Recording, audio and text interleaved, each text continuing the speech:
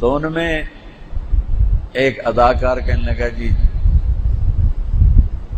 سال ہا سال مولانا جمشید صاحب سے ملنے جایا کرتے تھے۔ اور انہوں نے فرمایا ہوا تھا کہ جب آؤ مجھے اٹھاؤ۔ اور مولانا جمشید صاحب رحمت اللہ علیہ جیسی مجاہدانہ اور زاہدانہ زندگی پورے رائمنڈ میں میں نے کسی کے نہیں دیکھی تھی۔ وہ تھک کے چور ہو کر گرتے تھے۔ اور رات کو دو بجے آ کر ان کو اداکار اٹھاتے تو آنکھ کھلنے سے پہلے کہتے مرحبا مرحبا مرحبا۔ یہ دیکھ کر اداکار رونے لگ جاتے تھے کہ یہ کیسا انسان اس ٹائم میں کسی کو اٹھاؤ تو گالیاں دیتا اٹھتا ہے۔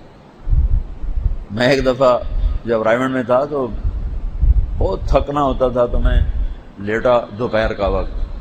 تو مولی طاہر ہے، میرا شاگرد بھی تھا۔ عبداللہ صاحب کا خادم تھا، اس نے کہ مجھے اٹھا دیا کیا ہے کہ عبداللہ صاحب بلا رہے ہیں۔ میں نے اس کو اتنا ڈانٹا اتنا ڈانٹا۔ اگر تو اندھا ہے، تجھے نظر نہیں آتا، میں سویا ہوں۔ تو جا کے ان کو بتاتا کہ وہ سو رہے ہیں، سو رہا ہے۔ پھر وہ کہتے اٹھاؤ تو پھر آ کے مجھے اٹھاتے۔ اتنا میں نے اس کو ڈانٹا۔ حالانکہ بلانے والے عبد الوہاب میری زندگی کے سب سے بڑے موسم جنہوں نے مجھے تبلیغ پر کھڑا کیا۔ جن کی شدت اور سختی نے مجھے بہت نعمتوں سے نواز کیا۔ ورنہ میں ایک مدرس ہوتا۔